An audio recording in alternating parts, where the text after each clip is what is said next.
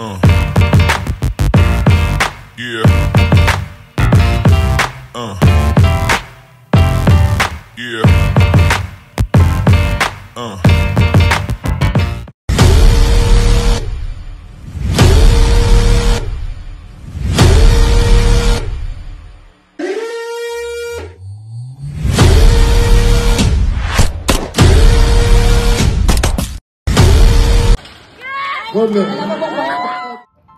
First of all, thank you World Fitness for featuring me here on your channel.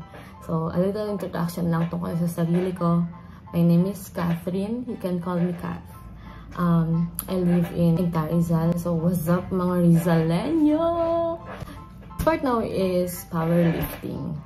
But before, I tried cycling and Muay Thai. Muay Thai. Kidding aside, um, ang coach ko ngayon is Coach Pat Rivera. Solid ko, sir. I'm also working now as a senior accountant.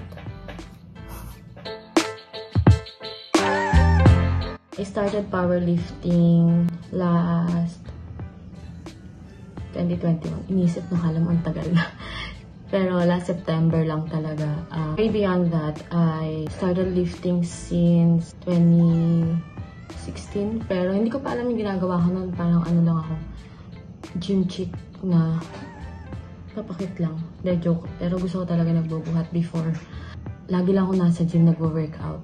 Into fitness kasi talaga ako eh. Pag wala akong magawa, gusto ko lang mag-workout. Nga din hindi. 'di ba? Kasi once na discover mo yung powerlifting sa buhay mo, very life-changing. Yun din yung lagi ko sinasabi sa iba kong mga kaibigang babae or mga titas, titos, mga oldies na tatanong sa akin, kababae mong tao, nagbubuhat ka ng mabigat. Baka ano ka niyan, baka di ka na mag-aanak, ganyan. But the joy that powerlifting gives me, hindi matatanggal yun ng kahit na sino. Kumbaga, it's you versus you at first before you compete eh. Pero, alam mo yon lalo na kapag nakahit ka ng PR, the feeling na nakahit ka ng PR, ibang klase. Tsaka iba rin yung dating na nakikita may progression mo. Para ngayon, akala mo, ang hina mo pa. Pero, if you will just look back, ang layo na nung strength mo from before. So, sobrang iba yung feeling na makukuha mo kapag nag-powerlift ka. Lalo na yung confidence na nabibigay niya sa'yo. Lalo na kasi babae ako. Feeling ko ang lakas ko. Feeling ko hindi na ako natatakot. Nakaka-build siya ng um, parang power inside me. Before, hindi ko talaga alam yung powerlifting. Akala ko same lang sila ng weightlifting. So, nalaman ko may powerlifting pala. Last year yon September. Sabi ko, uy, interesting naman itong sport na to, ganyan. Tapos, nag-start na ako ng training noon. Hindi pa yan pang competition. Ano lang, off-season training. Gamit ko si Coach Pat Rivera online. Siya yung nag-help sa akin sa journey ko sa lifting. Tapos nag-compete kami noong February. Nagkaroon ng direction yung pagbubuhat ko. Ginawa akong sport. Tapos ngayon, very focused na ako kahit na ano, konti lang yung time ko kasi nga I work as well. Um, hindi ko pa rin inaalis. Lagi pa rin ako nagtitraining. Nakaka-motivate dun sa part na nakikita mo yung progression mo. Ang layo mo na dun sa dati. Kala mo ngayon, ang weak mo. Pero kung, if you will just look back, sa paano ko nag-umpisa, mapaproud ka sa sarili mo. Bibigyan niya yung confidence na um, wala sa'yo.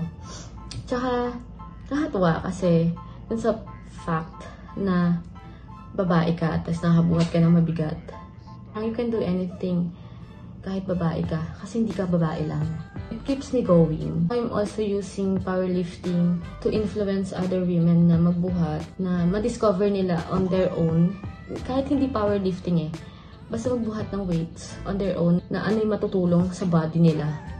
Kasi sa akin, yung perspective ko sa fitness, sa pagiging fit ko, nagbago dahil sa powerlifting. Na parang dati akala ko gusto ko lang maging mapayat. Pero ngayon, gusto ko nang maging malakas. Kung ano yung matutulong sa akin ng katawan ko, yun yung importante. Yung mabibigay niya sa akin strength, paano ko makakasurvive araw-araw, paano ko magagawa tong, like for example, um, hindi na ako mabilis papagod, hindi na yung mga pagbubuhat na mabibigat na bagay, madali na lang sa akin. Pag nag-grocery ako, aangat ko yung mga gamit, ako lang mag-isa, ganon.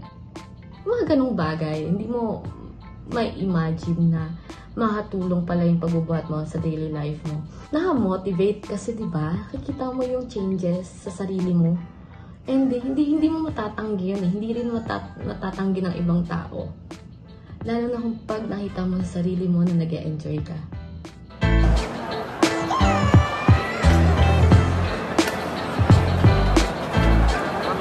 Let's go!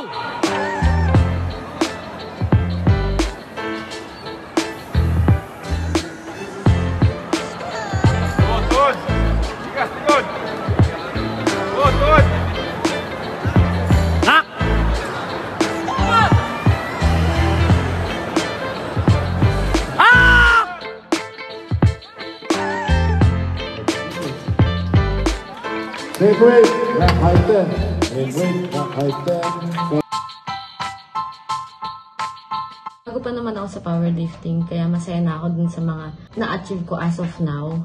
Last July, I competed sa Raw Nationals competition ng PAP and I bagged the bronze medal. Masaya ako kasi ano, naka-podium finish ako. And I think one of the achievements pa lang yun. Kahit isang beses pa lang ako nakapag-podium. Kasi other achievements ko siguro is to influence other people. Meron na kasi akong mga taong na-influence dahil sa pag-powerlift ko. Nagme-message sila sa akin, random messages. Nagme-message sila na uh, because of my videos, kahit babae sila, gusto na din daw nila mag-powerlift, that they want to do powerlifting dahil sa akin. Yun yung importante. Nakakatulong ka rin sa iba na maging fit sila sa life nila and yung powerlift, ma-discover din nila na masaya. Masayang mag-powerlift.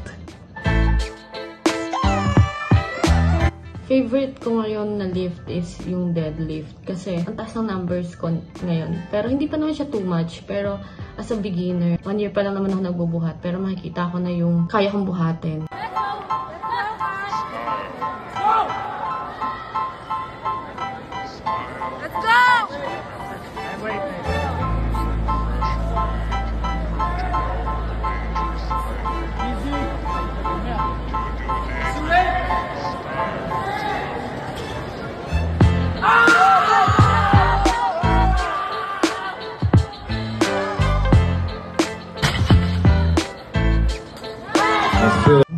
Makes me happy. Lalo na pag na-hit ko yung PR ko doon na kaya ko pala.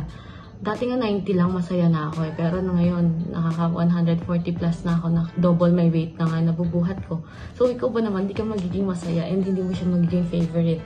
Lalo na kasi unconventional ako. So, yung lift ko sa kanya pag nabubuhat ko, na-enjoy ko. Yung mga traps ko, yung delts ko, yun naglalabasan. Kasi nagkakaroon din ako ng muscles pag nag-train ako for deadlift. Natulungan ako ng powerlifting sa part ko as a female na to break the stigma na hindi porket babae ka, hindi ka kaya, hindi mo kaya magbuhat ng mabigat, na hanggang dyan ka lang. Meron din siyang natulong sa akin na huwag mong i-limit yung sarili mo sa kakayahan mo. Lagi mo i-discover na meron ka pang ilalakas. Ah, Mental health ko, Ubuhat lang ako, lalo pag malungkot ako, ganyan. Char.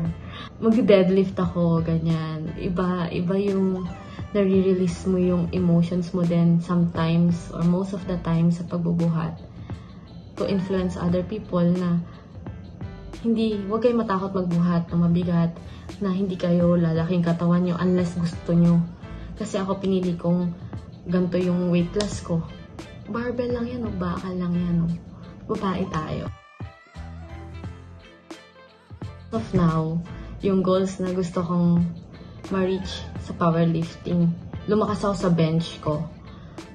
And tumaas pa yung totals ko. Makapag ma-hit ko yung mga PR na gusto ko. And someday, compete din internationally if given a chance, if ma-recognize tayo. Pero I trust the process. Sobrang fun ng powerlifting kaya hindi ko minamadali and chine-cherish ko lang every training ko. Kasi ang sarap sa feeling na meron kang support system na naniniwala sa'yo. So, I know someday yung goals ko hindi ko malayong ma-reach yun. Lalo na sa sport na to.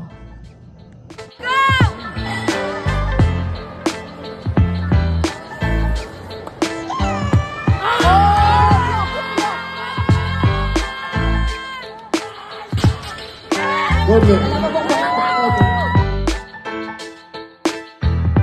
Advices that I can give sa mga starters, uh, first, syempre pumunta ka ng gym. O kaya, magbuhat ka kahit may home gym ka, ganyan. Magbuhat-buhat ka lang ilang days and then think kung ano ba talaga yung gusto mo. Kung gusto mo ba siyang maging lifestyle lang or someday you want to compete as well. Then, if seryoso ka talaga, feeling ko kailangan mo ng coach. Kasi, they will help you be educated. Kasi if makikinig ka lang sa ibang tao, ito, ito, ito, maguguluhan ka. Okay naman yung magle-learn ka and if makatulong sa'yo talaga, okay yun. Pero, importante pa rin yung nagtuturo sa'yo, um, reliable din and uh, tama yung sinasabi sa'yo. May, nakapag-research sila and they know, they know what they are saying. Ah, matutulungan ka nila sa form, sa techniques, sa nutrition, and makagpo-progress ka talaga sa journey mo. If you don't have money to hire a coach, then study, manood ka, magbasa ka. Yan. Ganun ako nag-start before and until now, ganun pa rin ginagawa ko. Continue lang natin yung learning natin sa sport na to and matutulungan ka nun maging um, consistent sa ginagawa mo. Also, siguro, last na to, uh, have fun. Mag-have fun ka lang. Enjoy mo yung journey mo. Do it for yourself. Um, wag mo bigay, wag mo gawin yung bagay na hindi naman nagpi-please sa'yo.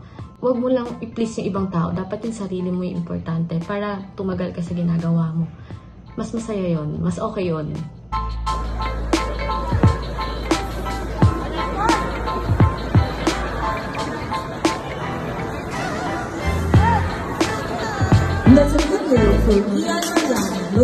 If you want to see more of my lives, you can follow me on IG, Catfit Life, and on TikTok, Catfit Life as well. Thank you. Bye.